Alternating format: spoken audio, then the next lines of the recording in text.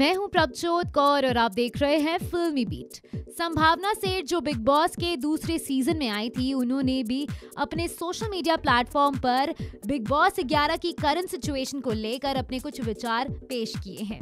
हीना खान के साथ जो भी घर के अंदर हो रहा है, उसके ऊपर हीना खान का सपोर्ट करते हुए संभावना ने कहा है कि हीना के साथ घर वाले किनारा कर रहे हैं। अगर संभावना उनकी जगह होती तो वो भी शायद उन्हीं की तरह रिएक्ट करती।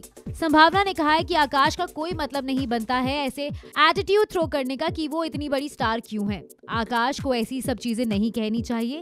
आकाश को अपने एटीट्यूड पे थोड़ा ध्यान देना चाहिए। वही बात करें पुनीश के कमेंट की तो पुनीश का भी बहुत भद्दा कमेंट था, जिसके लिए हीना खान से उन्हें माफ़ी मांगनी चाहिए। हीना बहुत कोशिश करती है सबको इकट्ठा एक साथ रखने की, लेकिन वो बार बार उस चीज़ में फेल हो जाती हैं। पहले अर्शी ने हीना खान को टारगेट किया, फिर आकाश ने हीना खान को टारगेट किया, और अब पुनीश अब बंदगी भी शुरू हो गए हैं लेकिन संभावना ये भी कहती हैं कि हीना खान के पास बहुत ही तगड़ी पॉपुलैरिटी है और वो बहुत ही अच्छी स्टार है, जिसके चलते ये सब स्टार्स बस उनके टीआरपी को यूज़ करना चाहते हैं फ़िलहाल संभावना सेठ ने तो अपनी राय रख दी है और सपोर्ट किया है हीना खान को। अब देखना होगा कि आगे कौन कौन हीना खान को इस बात पर सपोर्ट करते हैं और अपना पक्ष रखते हैं। इस वीडियो में बस इतना ही।